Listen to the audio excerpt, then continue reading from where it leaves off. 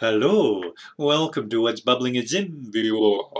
I'm inventor Dan Zen, and in this bubbling, we're going to take a look at the new Zim badges tutorial section.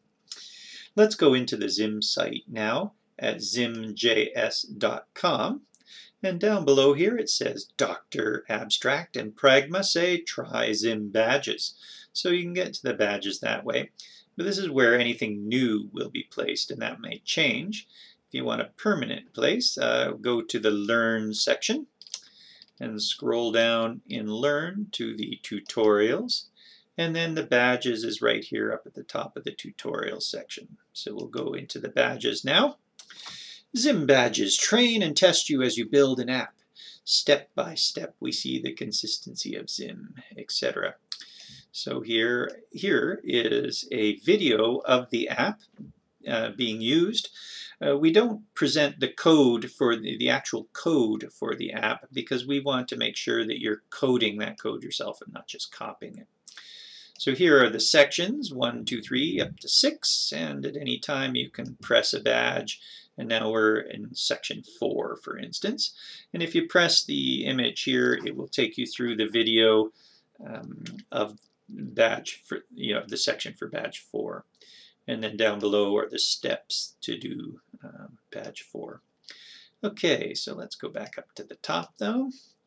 And then we'll, uh, we'll just start step 1. Woohoo! Okay, so copy and paste the code below into a text document on your computer and save it as alien.html. So if you press the copy button, it copies that for you. You can also press the More link to find out more about templates and getting started like so, and then the less link to, to close that. If we scroll down to step two, there's a lot of information in step two where we're making a variable called circle and using a new keyword to assign a new Zim circle. So anything in green will link through to the documentation. And then we've got gray areas here which tell us more information that you're going to have to pass parameters in there, for instance. And then we're using a method, we're centering, and here's information about a method and the dot syntax. And again, more information can be found here about all of those things, uh, linking through to the tutorial or the, the Zim Learn sections. The what is a variable, what is a function, etc. Also Zim bits, like how to make shapes and we'll do less there. And you can see the answer. So here is the answer. Put your code here. There's var circle equals a new zim circle. We pass in two parameters. We center the circle on the stage. Neat, huh? And we can hide the answer. At any time, once we get to a step, we're welcome to highlight the step. And when we leave and come back, these highlights will still be here. Also, if you've asked for more information about chaining there, more are the answers, these things will also, the state will be remembered. So when you come back, if they were open before, they'll be open again.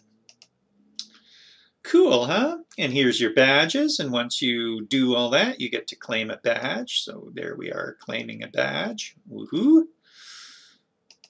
Um, and the whole point, or one whole point, main, main point uh, of this um, of Zim badges is to get students to build an app.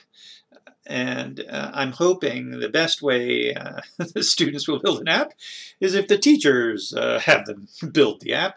So if you happen to be a student um, tell your teacher about this. And so all the way through, we're sort of saying, hey, show your teacher that you got this badge. Now that may be that the teacher is asking you to accomplish this badge, and therefore, I did it. Hey, teacher, here's what I did. And that's great.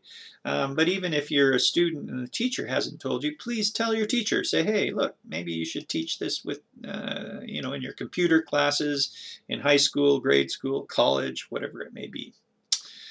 Okay, and so there's uh, the badge 3, you make the outside here, for instance, all the controls, uh, or sorry, all the tabs along the top and the color pickers, and um, that gets you started. So there's all the code that's needed to do that, and you get badge 3.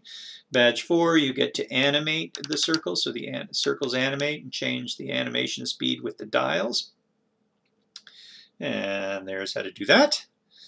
Uh, the next one is you animate to the sound of the voice, so a microphone, and that's really cool because as you talk, this moves. Um, you can come to the Badges site right now if you want and uh, click that video tutorial and that will show you all this happening. And of course, you can do Zim Badges yourself and make it work for real for you. We're controlling the speed of the animation with the pad. And there's the code to do that. Once again, we use um, Zim classes like Soundwave, and if we want to find out more about Soundwave, we hit more, and there's bubbling on Soundwave and what is on Scope, because we had a Scope issue here. So all the way through, uh, here's the documentation uh, that clicks right into Soundwave, and you can read the docs. All the way through, we're doing two things primarily. We're, we're building assets, we're putting things on the stage, and then we're also controlling those but we're also then working through the logic of how, and so there's conditionals like if statements as well. And so uh, you're learning programming basics and you're also learning how to build things in Zim as we go. Uh, finally, the last step, badge for badge 6, we're uploading a picture and then we can um, apply these effects, uh, the alien sort of detector on a picture to find out if uh, people in the picture are aliens or not. okay, and there we're using the Zim loader, and you can find out more information about the Zim loader uh, right there, and also see the answer as to how we made the loader operate and so forth.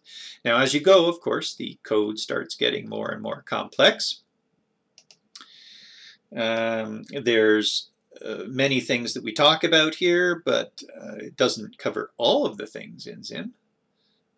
So Zim's got many more components, conveniences, and controls. For instance, you could use blobs or emitters and sprites. Uh, we did cover the basics of coding as well with variables and functions, and we didn't talk about loops. So here's, you know, you can go to the Zim Learn section and, and do more on that. Please uh, tell your teacher about this and so forth. And uh, that, my friends, is the Zim badges. Pop up to the top. If you can get to badge six, badge six, bad badge six, then you're certainly well on your way to making apps. And it's all here, building assets to controlling flow.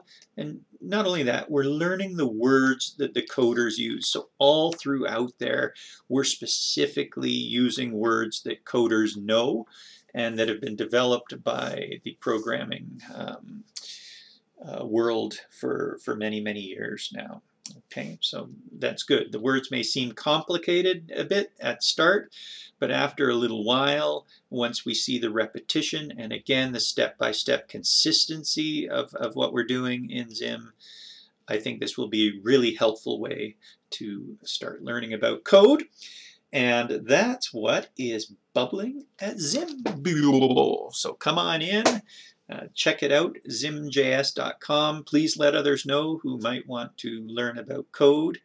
Uh, hey, leave a comment or a message anywhere in our Facebook group or here on, on the YouTube Bubbling series. We'd love to hear from you. Uh, ciao. Have a great day.